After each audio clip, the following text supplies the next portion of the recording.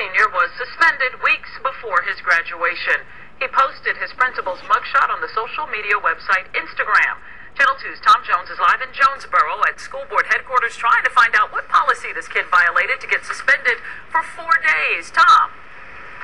Uh, Jovita, the student's family says nowhere in the student handbook does it say that you can get suspended for passing misinformation, but school officials here told me that Keandre Varner did much more than that when he posted his principal's mugshot online and said he thought she'd been arrested for DUI.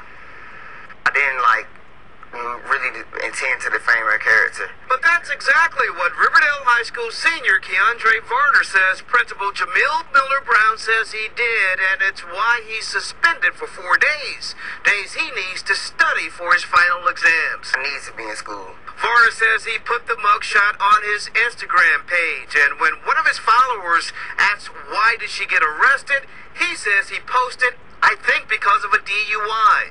Varner says Miller Brown found out and called him to the office. And she was like, You said I got arrested for DUI. And I was like, No, I said, I think you got arrested for DUI.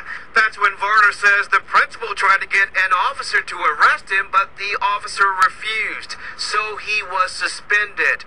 The school system says Miller Brown was arrested in March after she missed a court date for a speeding ticket. Administrators here say Varner was suspended for disrupting school by showing this mugshot to everyone, and they say he was belligerent when the principal confronted him about it. Keandre's mother says that's not true. She says the suspension letter the principal wrote explains the real reason. Keandre passed around misinformation. She thinks the principal went too far. Keandre also says he never showed the mugshot to classmates. I put it right on Instagram, and that was it.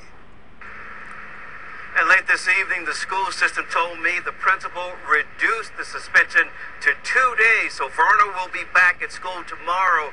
Other parents told me that she threatened their kids with suspension for having that mugshot in their phones. Those parents, it's on the internet, and the principal can't suspend everybody.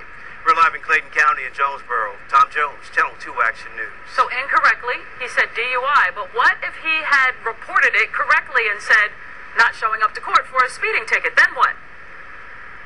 That's a good question. I, the parents seem to think that the principal didn't want anyone discussing or at least passing that mugshot around. And possibly not knowing about it. All right, Tom, thank you.